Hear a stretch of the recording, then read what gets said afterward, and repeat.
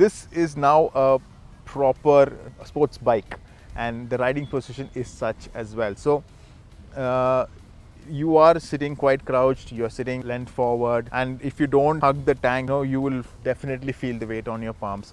And uh, the way to ride this is, is and always has been that you know you grab the tank and sort of with your knees and sort of get the weight off your shoulders and palms so that you have that much more freedom to move around and you know maneuver the bike easily. And when you do that, it becomes very simple as well.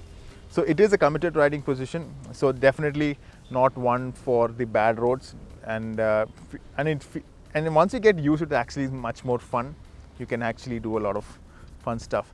Uh, at the same time, the pillion seat, well, the pillion seat.